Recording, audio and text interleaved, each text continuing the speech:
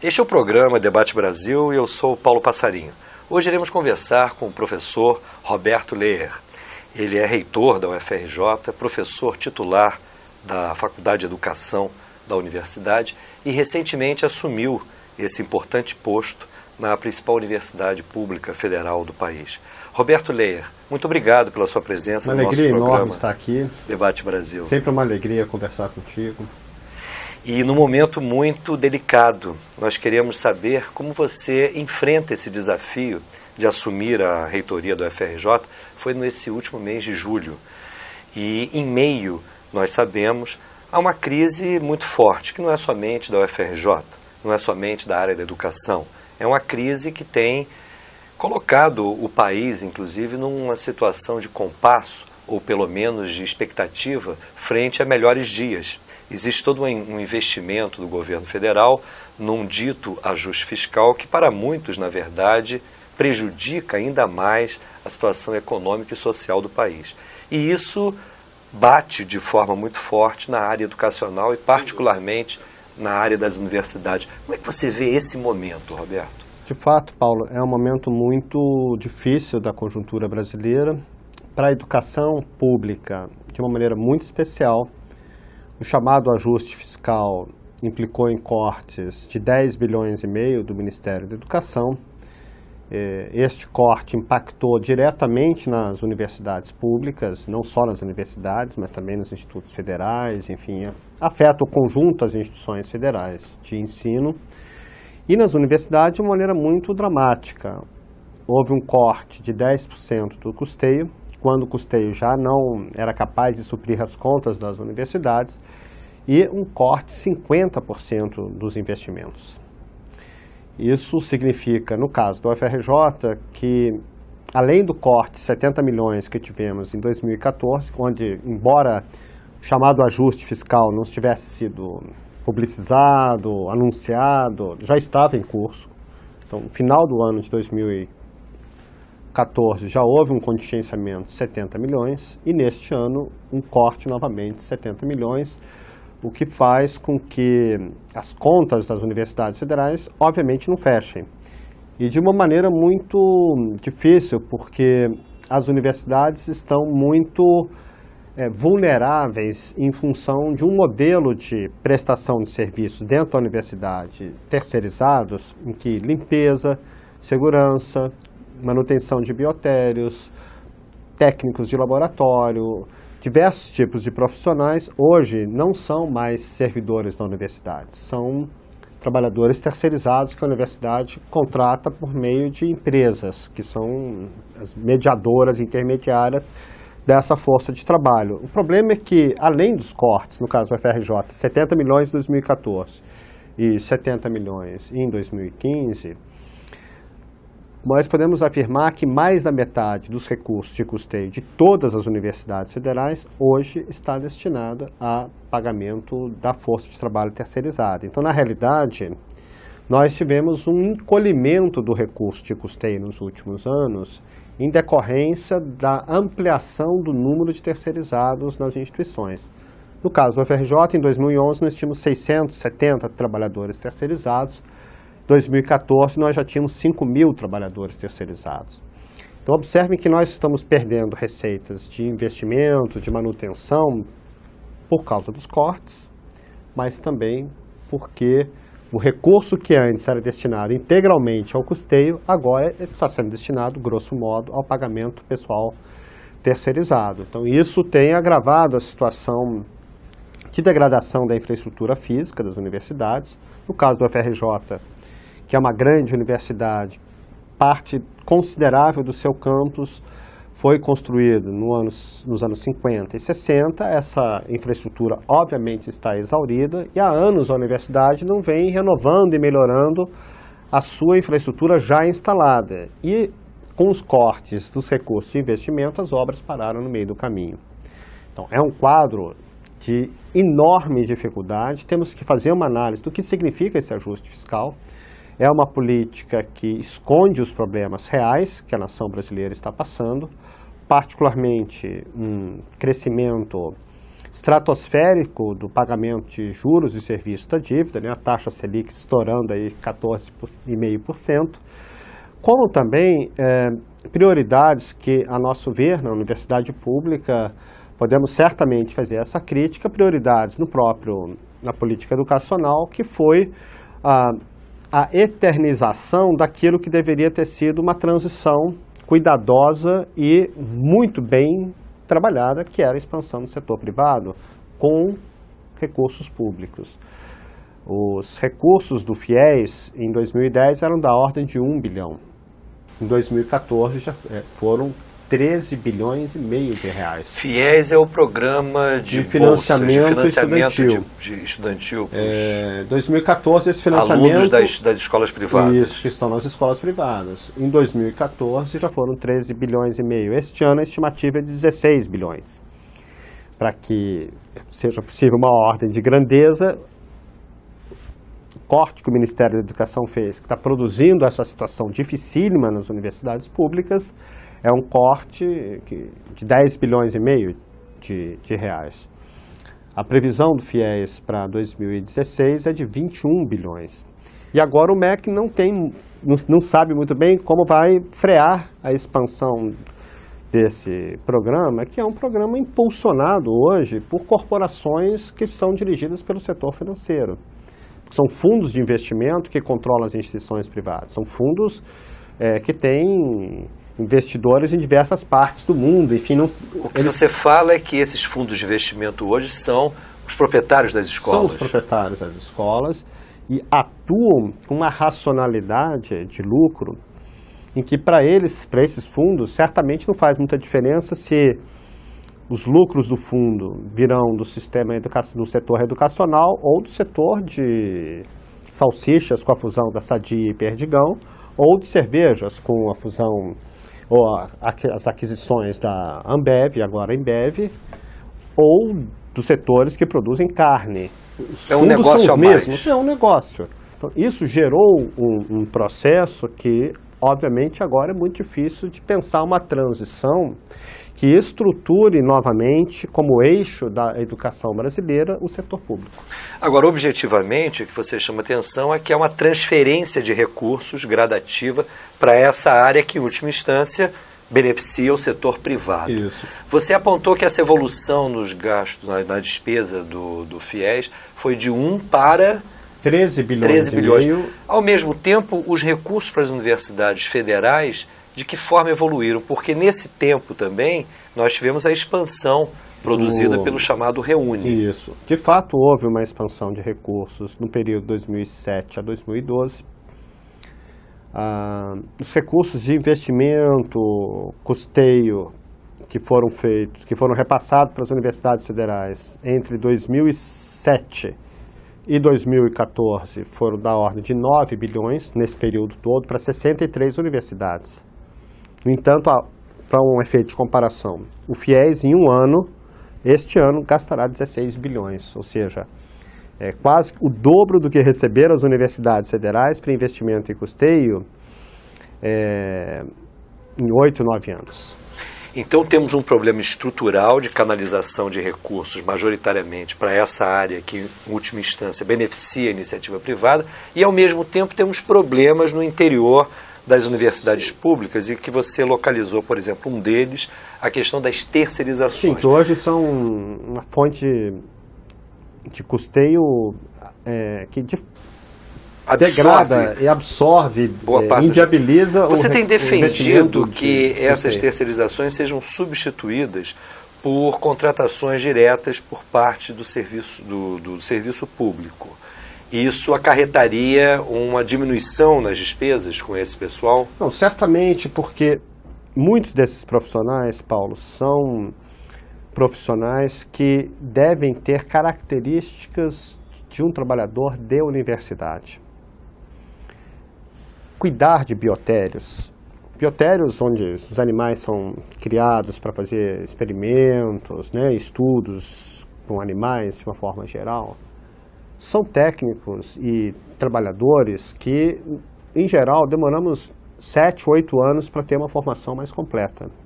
É muito delicado cuidar de biotério. Não pode ser um trabalhador terceirizado que fique dois meses, entra, passa dois meses, entra uma outra pessoa. Em suma, é inviável. Da mesma forma, um técnico que vai fazer manutenção de laboratórios. Nós temos laboratórios que nós lidamos com vírus, com material radioativo, ah, com substâncias químicas extremamente perigosas, com micro-organismos de uma forma geral, que não podem, obviamente, chegar ao ambiente. É preciso uma qualificação muito grande desses trabalhadores. Ainda que se possa abstrair e dizer, bom, mas é um trabalhador do setor de limpeza mas não é uma limpeza que possa ser feita sem determinados cuidados. O melhor cenário seria retomar na carreira dos técnicos administrativos um contingente de trabalhadores que pudesse é, ter uma formação e ter um pertencimento à instituição. O custo seria menor para a universidade, porque nós precisaríamos de menos trabalhadores, ah, além de um custo menor, ao meu ver, nós temos a vantagem de termos um, um trabalhador mais qualificado, de, com uma formação profissional mais sofisticada e, sobretudo, alguém que está em interação, que goste, que conheça a vida universitária. Então, por exemplo, é, um segurança da universidade tem que conhecer o cotidiano da universidade, tem que conhecer quem está no grupo de pesquisa, quais são os laboratórios que funcionam até tarde.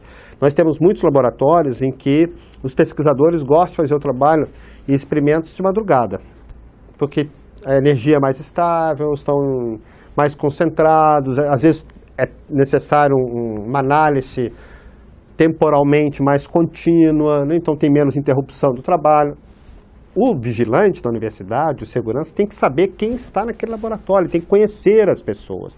Na hora que esses profissionais saírem de lá duas, três horas da manhã, saber acompanhá-los, levá-los. Então, voltar a existir servidores nessas áreas ditas de apoio eh, seria uma mudança qualitativa muito grande.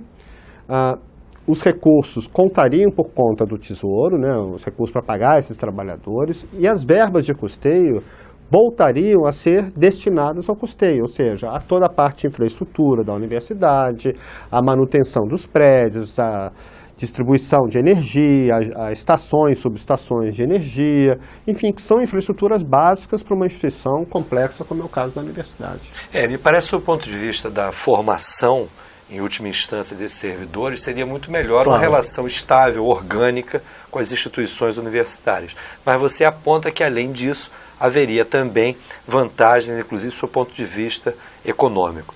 Mas é, essa é apenas uma parte do problema. Nós temos hoje, me parece, um quadro de subfinanciamento do setor da educação. Sem dúvida. E isso, me parece, não está resolvido. Esse é o grande problema de fundo, por exemplo, dos efeitos do ajuste fiscal. Como é que você pensa em resolver? Em algumas é, entrevistas que você tem dado, você tem apontado aí um déficit orçamentário para esse ano muito relevante, superior a 100 milhões de reais. Não, é bem mais de 100 milhões. Nós temos um déficit. Se hoje o FRJ optasse, pudesse colocar as suas contas em dia, pagar todos os fornecedores, enfim, não ficar devendo a ninguém, nós precisaríamos, no final do ano, de mais 300 milhões. Nós temos um, uma avaliação de que o déficit permanente da universidade é da ordem de 200 milhões de reais por ano. Déficit permanente é de 200 milhões de reais por ano. Para fechar as contas sem é, risco de interrupção das atividades acadêmicas, o que, que significa dizer isso? Nenhuma empresa com mais de três meses de atraso, porque isso é o que permite legalmente a suspensão do serviço, uma empresa terceirizada, eh, nós precisaríamos de 120 milhões até o final do ano. E a expectativa do Ministério da Educação, em virtude dos cortes, obviamente é muito menor. Nós temos uma relação, na minha avaliação, que está sendo muito é, franca e positiva com o Ministério da Educação.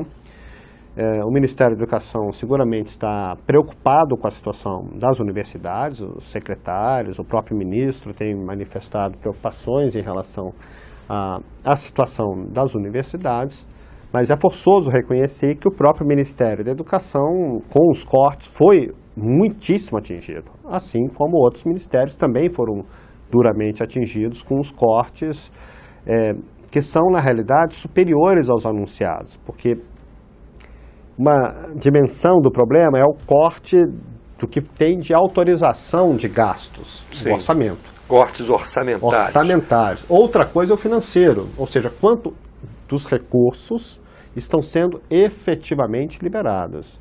E, na realidade, nós sabemos que os recursos efetivamente liberados têm vindo a conta-gotas. É, isso está diretamente ligado à queda da arrecadação. Né? Essa liberação financeira, de Sim. acordo com a previsão orçamentária, depende muito daquilo que efetivamente é arrecadado. E as informações que temos é que a arrecadação fiscal tem frustrado a União, e isso evidentemente tem impacto na liberação de recursos. Sem dúvida. Como é que você pensa em resolver isso nesse curto prazo? Eu até fico curioso como que nos exercícios anteriores os outros reitores resolveram esse, esse problema. Afinal de contas, é um, uma, uma sinuca de bico. Né? É, a situação piorou muito no final de 2014. Até 2013, as contas estavam sendo relativamente é, encaminhadas a contento.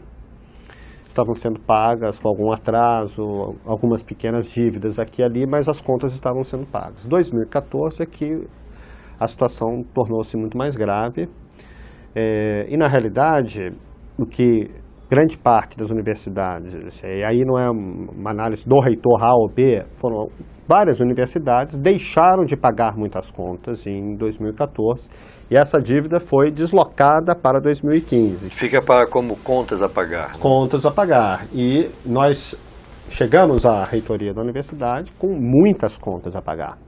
É que já vinha o corte de 2014, o corte de 70 milhões em 2015, e nós temos buscado estratégias alternativas para mantermos a universidade com sua capacidade de pesquisa, do desenvolvimento do ensino, da extensão, enfim, as atividades acadêmicas cotidianas. Imagino o desafio.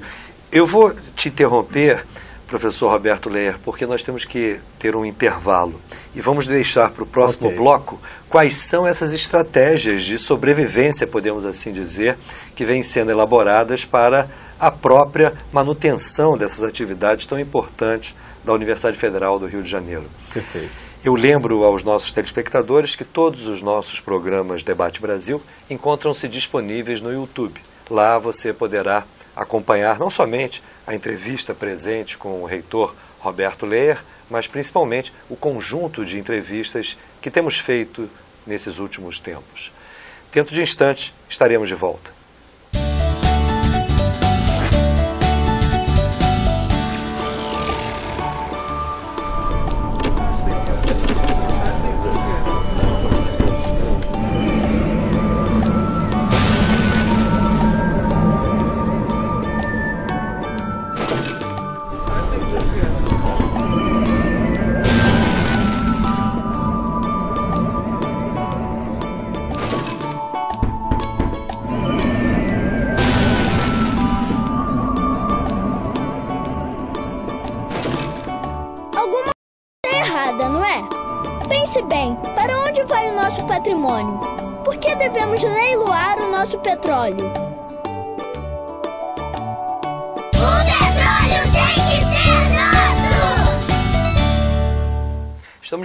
Nosso programa Debate Brasil, hoje entrevistando o reitor da UFRJ, Roberto Leer. Roberto Leer, no último bloco você chamou a atenção para as imensas dificuldades que estão colocadas para o seu exercício como reitor neste ano de 2015. O que você pensa em fazer nesse curto prazo para contornar esses problemas de ordem orçamentária e também financeira? É, primeiro, temos tomado, Paulo, medidas internas objetivando um planejamento mais racional dos gastos da universidade. Nós somos uma instituição pública, nós somos uma instituição que pensa a energia, que pensa o meio ambiente, que pensa os processos de trabalho, que projeta e faz investigações sobre o uso do espaço, né, na área da arquitetura, do, do urbanismo. No entanto, a universidade muitas vezes parece aquele ditado popular, né, em casa de ferreiro, espeto de pau. Nós temos que utilizar melhor o conhecimento que a universidade produz para ela própria.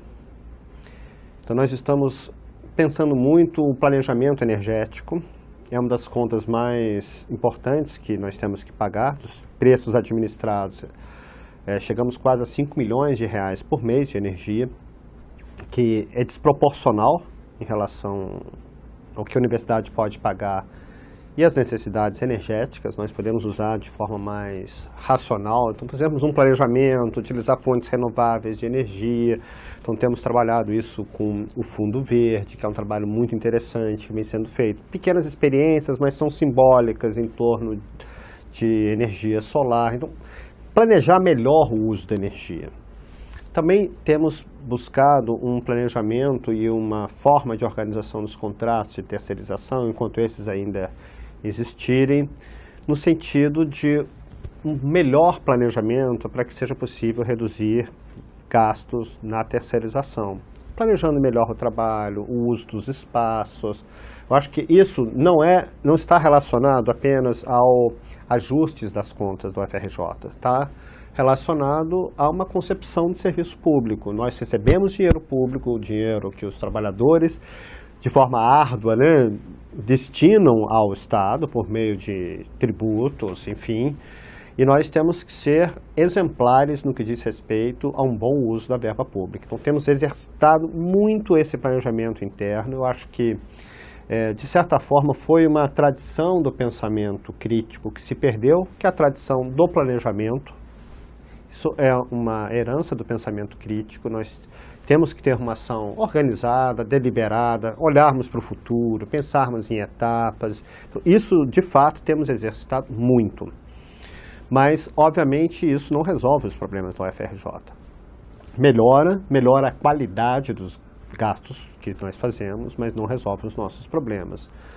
Temos buscado é, alternativas de investimento e custeio Primeiro, fazendo um trabalho com a sociedade política. A universidade não pode deixar de dialogar com a sociedade política. Nós já estivemos com o governador do estado, conversamos sobre vários projetos da universidade, já estivemos com o prefeito da cidade do Rio de Janeiro e também conversamos e encaminhamos várias questões relativas à vida da UFRJ. Nós estamos na cidade do Rio de Janeiro, a história do UFRJ se confunde em grande parte com a história do Rio de Janeiro, temos um, uma história compartilhada em momentos importantes, né? Nossos lugares são simbólicos, Praia Vermelha, Largo de São Francisco, Fundão, enfim, o UFRJ tem uma vida muito é, protagônica na cidade do Rio de Janeiro, então o debate com a Prefeitura, com o Estado, é muito importante para encaminharmos questões de interesse comum é, e isso tem possibilitado algumas parcerias que, a nosso ver, vão melhorar as condições, inclusive, materiais do FRJ. Uma contratualização com o Sistema Único de Saúde que contemple a especificidade da formação no FRJ. Nós não temos apenas hospitais. Os nossos hospitais não são de serviço ou de assistência puramente. Os nossos hospitais, os nove hospitais que possuímos, são hospitais de ensino, de formação, de planejamento da saúde, enfim. Então, isso, nós podemos dar contribuições muito importantes para a sociedade brasileira, para o Estado do Rio de Janeiro de uma forma é, mais específica, mas para isto é necessário que também os procedimentos, a remuneração do SUS contemple essas particularidades. Então estamos procurando corrigir para melhorar ah, o repasse de recursos para os hospitais e particularmente para o Clementino Fraga Filho, que é uma situação insustentável, inaceitável. Nós temos que mudar isso rapidamente. Fizemos um trabalho com o parlamento, tanto com o Senado como com os deputados, e o coordenador da bancada dos deputados do, do Rio de Janeiro, o deputado Hugo Leal, com uma, vários apoios parlamentares, nós fizemos emendas parlamentares para que em 2016 haja emenda de bancada para o FRJ, da bancada do Rio de, do Janeiro. Rio de Janeiro, e nós conseguimos. Esses recursos são superiores a 60 milhões é, é, um recurso muito importante, é uma soma de, de, recursos que pode alterar a situação do hospital, se contarmos as emendas individuais que estão indo para a área da saúde. Seguramente nós vamos ter é, como possibilidade algo como 70 milhões, e isso é inédito na história do FRJ, porque foi um trabalho coordenado com os hospitais. Nós criamos uma coordenação de relações institucionais na reitoria, para fazer um trabalho sistemático com os parlamentares e conseguirmos um apoio extraordinário e também no Senado. O Hospital Clementino Fraga Filho é o hospital universitário É o hospital do, do Fundão, é o hospital universitário, é aquele que está com aquela lateral aberta que constrange e deixa a população do Rio de Janeiro triste, né, de ver essa situação terrível. Nós tivemos que reduzir o número de leitos, nós precisamos restabelecer, pelo menos agora, de forma é, a curto prazo de 220 para 500 leitos. Estive com o ministro Mercadante essa semana conversando sobre a liberação dessas emendas junto com o senador Crivella, que nos acompanhou, que estava coordenando esse trabalho no Senado, com o deputado Hugo Leal, outro deputado Vonei, que também foram juntos, para nós, enfim, pactuarmos um, um, um processo em que haja liberação efetiva. Temos expectativas positivas que esses recursos serão é, de fato liberados para que já em 2016 nós possamos ter mudanças qualitativas reais, porque este hospital é o espaço da pesquisa, é o espaço dos procedimentos de alta complexidade. São procedimentos que muitas vezes acontecem de forma única no Hospital do Fundão. Aqui temos uma das prioridades, o trabalho com os parlamentares foi muito importante ah, mostra a relevância conferida pela sociedade brasileira e do Rio de Janeiro, de uma forma especial, à universidade e ao UFRJ em particular, tendo em vista que eh, estivemos entre as prioridades das emendas este ano. Então, eu acho que aqui foi um trabalho muito interessante de, de interação da universidade com a sociedade política, assim como o Estado do Rio de Janeiro tem uma história em que ah, o futuro do Estado do Rio de Janeiro foi redefinido pelo pré-sal, ou pela expansão da produção de petróleo na região norte fluminense, na região de Campos e particularmente na região de Macaé. Essa história não seria possível sem um FRJ. O papel do centro tecnológico foi muito foi importante. Foi muito nisso, importante. Né? É uma interação com o SEMPES, em que a história das duas, né, da, da UFRJ, da COP, da SEMPES, Geologia, Química... SEMPES é o Centro de Pesquisa Pesquisas da Petrobras. Da Petrobras. É, muito, é uma história muito lado, imbricada, inclusive né? fica na cidade universitária. Então, é, nós entendemos que o destino da UFRJ diz respeito ao, à população do Rio de Janeiro e também aos governos municipal e estadual. Agora, esses entes encontram-se também em muitas dificuldades, mas, né? tanto é, o Estado como o município. É, mas a ordem de grandeza de, de recursos, muitas vezes, para destravar certos processos, é, uma prefeitura né, no Rio de Janeiro tem uma flexibilidade em algumas áreas que nós temos muito pouco financiamento, em área de cultura. Então, nós temos procurado explorar essas possibilidades para que a universidade não fique paralisada no contexto de crise. Nós não podemos desanimar a universidade. Ao nós temos que né? trabalhar muito para que eh, as nossas atividades de ensino, pesquisa, extensão possam estar pulsando. E eu acho que, eh, de certa forma, a mensagem que nós construímos e debatemos no processo da campanha, que nos possibilitou sermos é, eleitos, foi uma mensagem de esperança, de mudança na vida universitária. Né? Então temos trabalhado muito nesse sentido.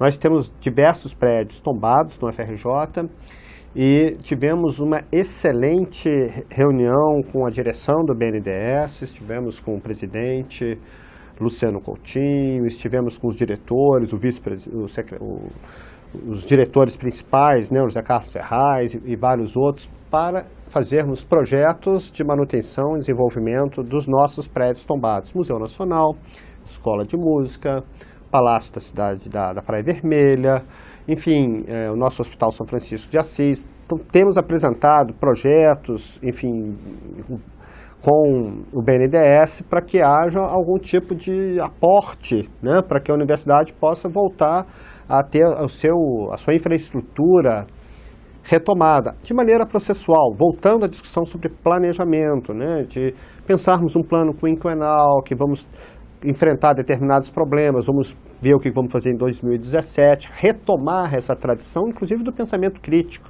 né, da, no, tanto na área de economia, das políticas, né, de que temos que ter, de fato, políticas de, de planejamento na universidade. Outra fonte importante que, de recursos que temos trabalhado é, está em, em processo diz respeito à infraestrutura da pesquisa no UFRJ. A UFRJ tem uma quantidade extraordinária de laboratórios com equipamentos muito sofisticados, equipamentos muito caros, muito caros, é, mas as suas estações, subestações de energia estão sucateadas. Nós não temos ainda uma, um suporte de tecnologia de informação e comunicação, bancos de dados, que sejam compatíveis com o tamanho do FRJ. Então, estivemos com a FINEP, que é a financiadora de projetos, é, vinculada ao Ministério da Ciência e Tecnologia, é, justamente debatendo é, com, com a FINEP a possibilidade de fazermos um plano escalonado de retomada de uma infraestrutura de pesquisa que mude a lógica de organização da universidade. Porque até então, na Universidade Brasileira e no UFRJ não é diferente, cada pesquisador, de maneira legítima, apresenta um projeto para o CNPq, para a FINEP, ou outro órgão de fomento, aqui no estado, a FAPERJ, e consegue um equipamento, consegue um recurso para fazer uma determinada construção predial, mas ninguém se preocupa com a infraestrutura da UFRJ, da, Como um da todo. instituição como um todo.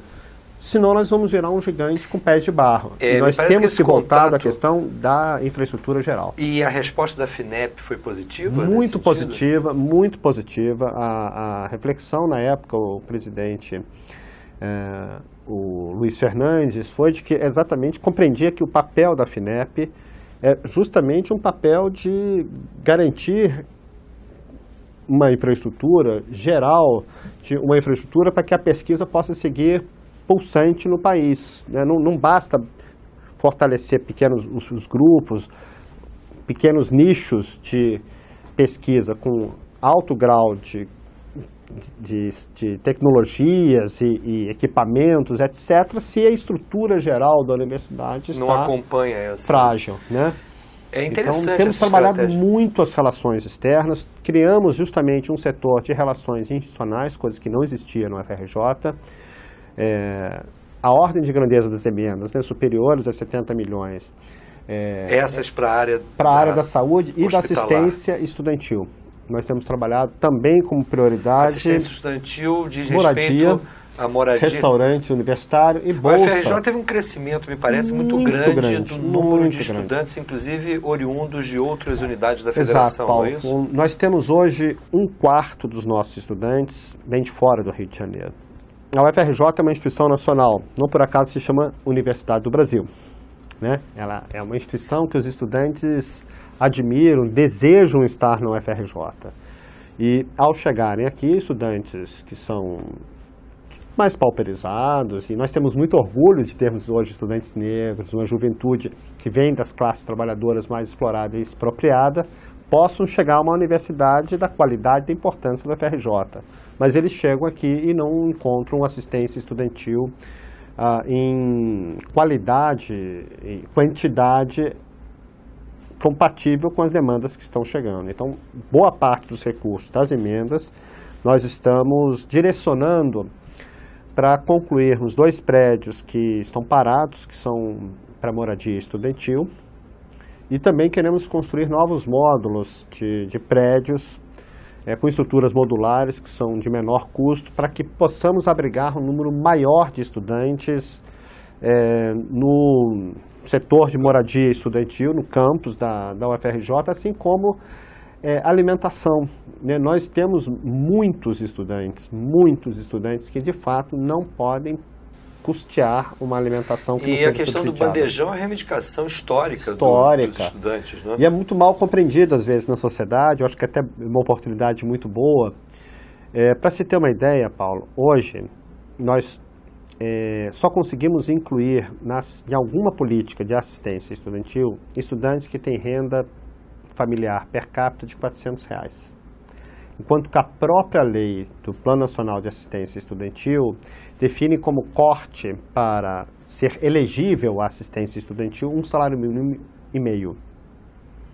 mas nós não conseguimos ultrapassar a faixa dos estudantes que têm renda de 400, 400. Isso por uma questão de escassez de recursos. De escassez de recursos. E você diz que nessa articulação institucional com o parlamento foi possível a elaboração de emendas Sim. que garantiriam um aporte maior de verbas, tanto nessa área de assistência estudantil como na área hospitalar. Isso. Você se referiu também que a UFRJ dispõe de nove hospitais, Isso. não é apenas o hospital São cinco hospitais de ensino, alguns que são muito conhecidos né, e que também foram contemplados com emendas, como todos então foram. O IPPMG, mas a ideia é que nós possamos fazer uma distribuição para atender demandas mais emergenciais. Claro que a situação da nossa maternidade, do Instituto de Psiquiatria, demanda muitos investimentos, eles precisam de mais espaço, precisam melhorar os espaços, mas os problemas não são da mesma ordem de grandeza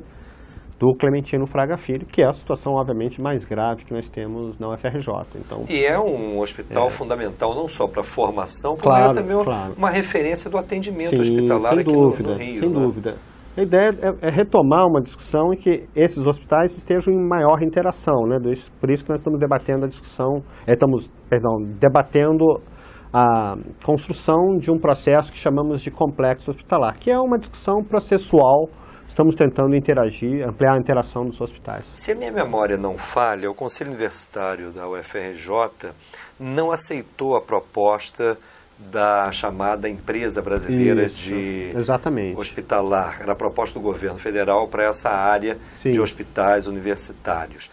Você acredita que essa decisão do Conselho Universitário da UFRJ tenha tido algum impacto de prejuízo para esses hospitais por conta da posição em defender claramente que essas instituições permaneçam na estrutura Paulo, eu, da é, universidade? Na minha avaliação, não.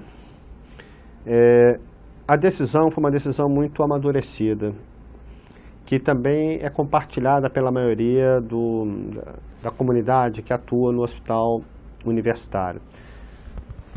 A debacle, o desmonte do hospital veio antes da EBSER vem já de um processo de muitos anos de redução paulatina. É, a proposta EBSER já surge como uma tentativa Isso, de responder a essa é, crise, não é? E, na realidade, nós sabemos que mesmo os hospitais que contratualizaram com a EBSER é, vivem muitas dificuldades hoje. E, particularmente importante, são hospitais de muito pequeno porte.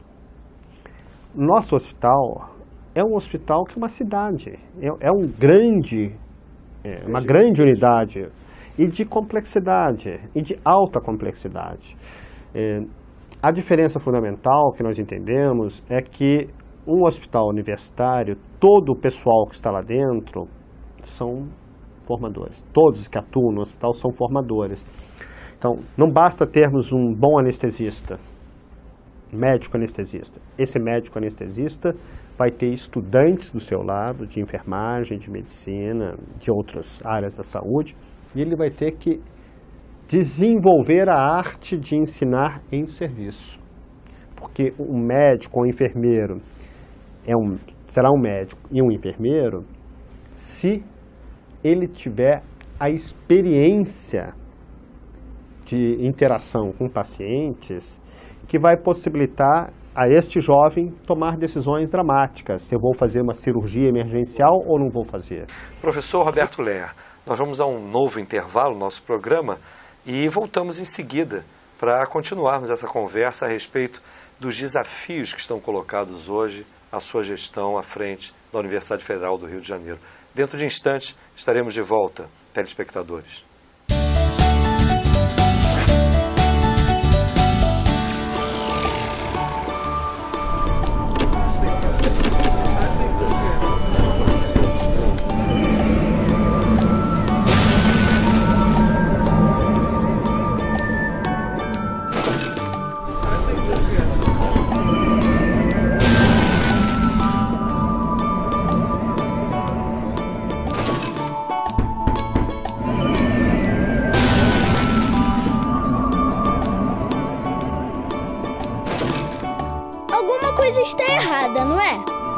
Pense bem, para onde vai o nosso patrimônio?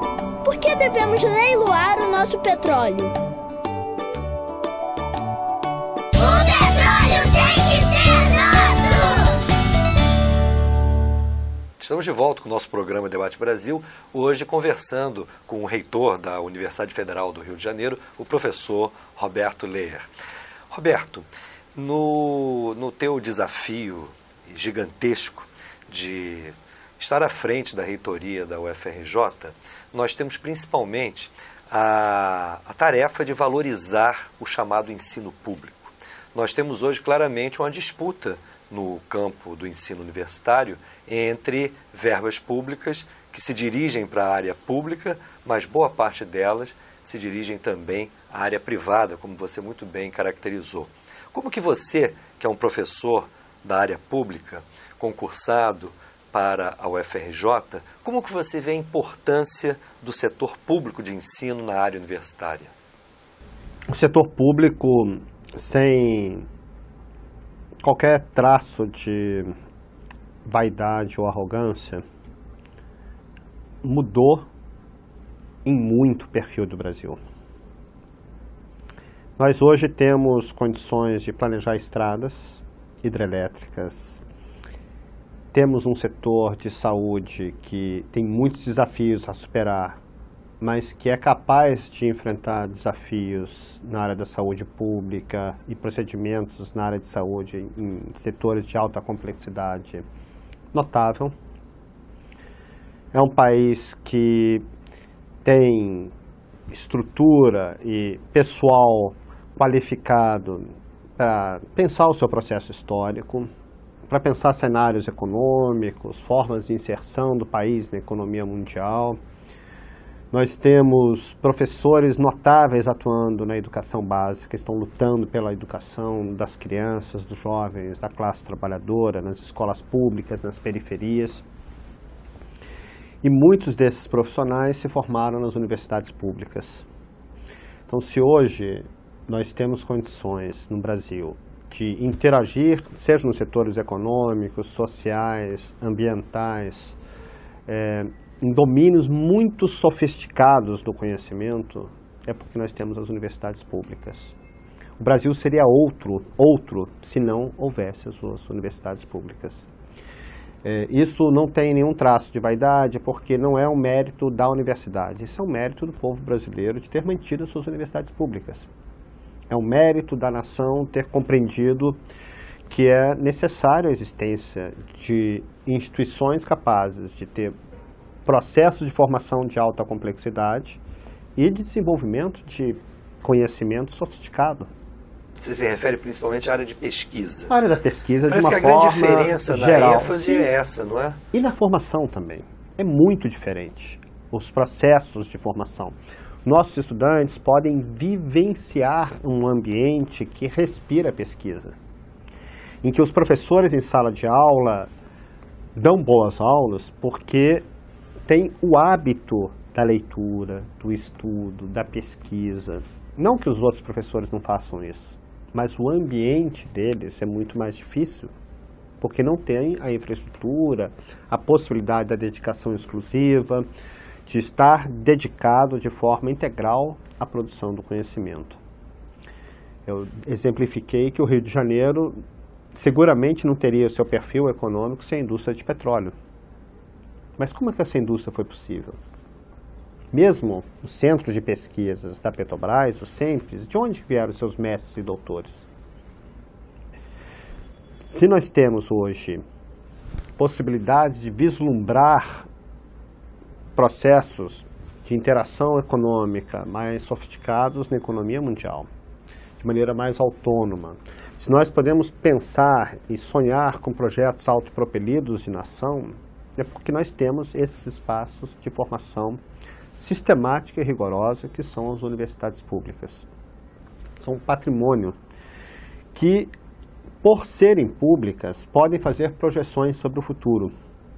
Nós temos dilemas hoje na humanidade que a universidade pública tem muito a dizer e a pensar e dialogar, não como certezas e arrogância, mas como possibilidade de diálogo. Por que temos uma crise hídrica? Isso é um fenômeno da natureza? Esse é um debate que vem de muitos anos no Brasil. Né? Falava que o Nordeste A seca era um problema apenas da natureza. E há muitos anos também nós temos condições de mostrar que, sim, a natureza é um dado objetivo da realidade, mas nós transformamos a natureza. E podemos transformar de forma racional, ambientalmente orientada, com preocupações sociais. Mas pensar a água significa pensar o modelo agrícola. 70% da água no Brasil é dirigida, são, está sendo dirigida para a agricultura.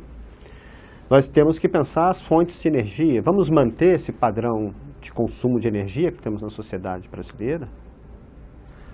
Temos que pensar na alimentação da população.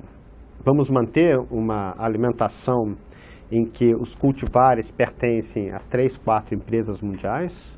Ou vamos ter soberania alimentar? Nós vamos patentear os seres vivos e vão passar a propriedade dos códigos genéticos para corporações ou vamos utilizar e, interagir com a natureza de uma forma racional, consciente. Enfim, são temas muito cruciais que temos que debater sobre o futuro na energia.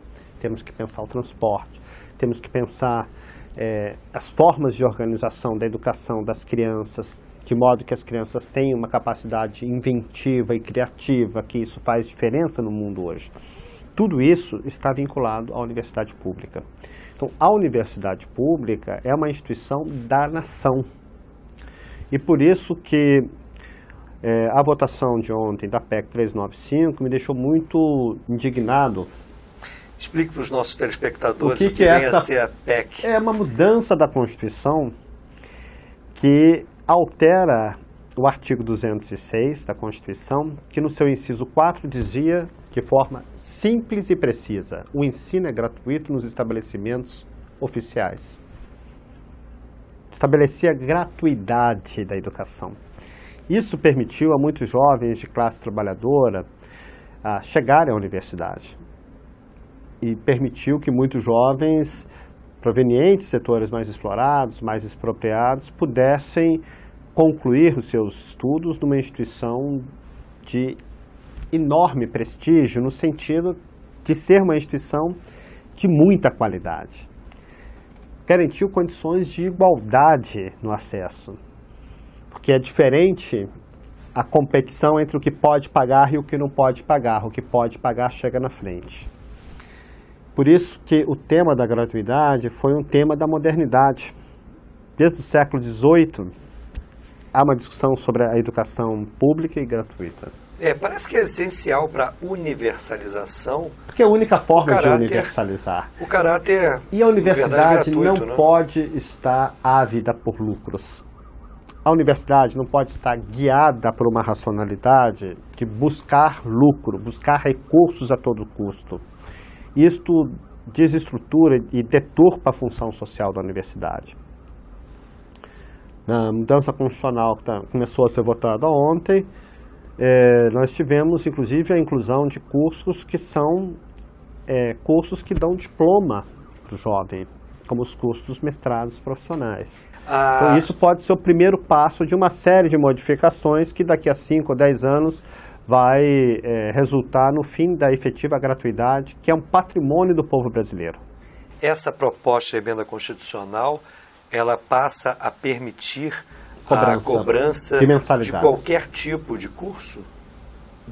Particularmente, não. Neste momento, o que está sendo votado seriam os cursos de especialização, extensão e o mestrado profissional. Mestrado profissional é um mestrado, É um que foi mestrado criado que- recentemente. É um mestrado que, digamos, ele tem um perfil em que o estudante não faz uma dissertação, mas ele desenvolve um processo, desenvolve um produto. Era muito utilizado nas áreas tecnológicas e, e hoje está sendo É um, é um deslocado. mestrado estrito senso, É estrito senso, mas eh, mas talvez tem- um pouco mais simplificado do que o, Eu não diria necessariamente simplificado. Pode ser mais simplificado e muitas vezes é mais simplificado, mas não necessariamente é mais simplificado. Porque, por exemplo, um estudante de áreas tecnológicas poderia, em vez de apresentar uma dissertação, apresentar um processo de desenvolvimento industrial ou um determinado tipo de artefato que foi tecnológico construído, um equipamento, etc., pode ser o resultado da sua, do seu mestrado. Pode ser um produto ou um processo que inova tecnologias, por exemplo. Né? Então, isso também seria possível, um curso que ah, um profissional da área de educação é, desenvolvesse é, estratégias de ensino, etc., voltadas para uma área do conhecimento. É uma polêmica isso, tá? mas de qualquer maneira é um mestrado que tem o mesmo valor legal do mestrado acadêmico. Então, quando nós temos é, a possibilidade da cobrança, num quadro de restrições orçamentárias, conforme eu já destaquei, as universidades podem ser constrangidas, impelidas, não é impelidas a, no lugar de abrir mestrado acadêmico, abrir só mestrados profissionais para captar recursos. No momento, essa, essa proposta de emenda constitucional abre essa possibilidade, conforme você disse, nos cursos de especialização e nesses mestrados. É, estrito senso profissionais bem como no, nos cursos de extensão de uma forma de geral, pós-graduação em geral. O que me parece efetivo nisso é que muito provavelmente vai desobrigar o Ministério da Educação, num contexto, não por um maquiavelismo, mas num contexto de restrições orçamentárias, a racionalidade da área econômica certamente será. Já que as universidades podem cobrar mensalidades, deixa elas se virarem. Deixa elas é. se virarem captando recursos no mercado. Via e isso vai cursos. acabar ah, com uma tradição notável da universidade de desenvolver cursos de especialização, de extensão e de pós-graduação em estrito senso, como é o caso do mestrado profissional, é, cujo único critério fundante da criação do curso é ter excelente qualidade de ensino, excelente é, capacidade de formação, é, ainda que isso envolva uma lógica antieconômica. A universidade, ela no dia a dia, ela tem uma racionalidade que não é a racionalidade do mercado, ela é contra o mercado. Quando nós estamos formando um profissional das engenharias ou em fonoaudiologia ou em literatura, nós queremos um tempo mais lento. Nós queremos que cada estudante tenha de fato um domínio rigoroso do conhecimento. Nós não queremos massificar a educação. Quando a universidade tem que ter clientes para captar recursos, é óbvio que o próprio processo de formação ele passa a ser calibrado pela sua capacidade de gerar receitas. Agora, professor Roberto Leia, para muitos esse processo de massificação já está em curso. Nós tivemos nos últimos anos uma expansão extraordinária do número de alunos, através principalmente do Reúne, mas para muitos essa expansão quantitativa não foi acompanhada de um aporte de recursos necessário para ela, a manutenção. Ela, como é que, como ela é que tem, se enquadra isso? Não tem dúvida que a expansão ela não teve a contrapartida de recurso. É só irmos ao campus da UFRJ, da Federal Fluminense, de qualquer outra universidade pública, e nós vamos ver que é, muitas instalações ficaram pela metade. As construções estão paradas. Não é à toa né? que você destacou a importância de um programa, um planejamento para enfrentar os dilemas claro, patrimoniais. Patrimoniais, a infraestrutura da, da universidade, enfim. É, então, de fato, nós temos um, um, uma expansão que não foi acompanhada da mesma proporção de recursos. É absolutamente é, consistente essa afirmação. No entanto, nós temos um processo contraditório que decorre, digamos, da vitalidade da universidade. Nós temos mais estudantes, mas não abrimos mão de formar bem esses estudantes. E a própria massa estudantil pressiona Pressiona, também. claro. Eles querem assistência estudantil, não tem dinheiro, eles brigam com a gente no Conselho Universitário. E tem que brigar. Eles fazem protestos, manifestações, ocupações, enfim. É, a vida universitária é muito ciosa do patrimônio que foi construído ainda que com sacrifício pessoal enorme, e não é bom que seja assim. Os professores, os técnicos, os próprios estudantes sabem que estão remando contra a maré e fazem um esforço para continuar subindo o rio, porque sabem que isso é necessário para a universidade, para o país, etc.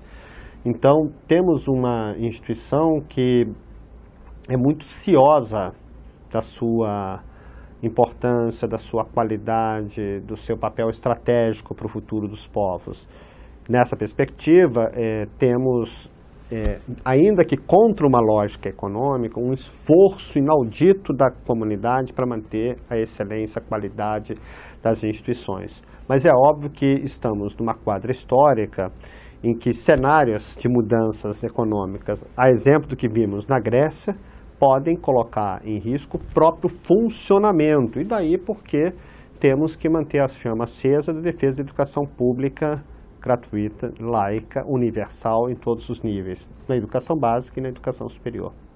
Professor Roberto Leia, muito obrigado pela sua participação no nosso Satisfação programa. enorme, sempre é muito Debate bom dialogar Brasil. contigo, Paulo. E principalmente, parabéns pela coragem no diagnóstico que você faz da UFRJ, especialmente na ousadia da apresentação de propostas tão importantes para enfrentar esse momento delicado da Universidade Brasileira e particularmente da UFRJ.